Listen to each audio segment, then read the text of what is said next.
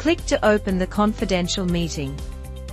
The interface watermark covers the entire meeting process to prevent recording and leaking meeting information. Confidential meetings support private meeting data so that the materials in the meeting cannot be downloaded. After the meeting, the materials will be automatically deleted to ensure the confidentiality of the data.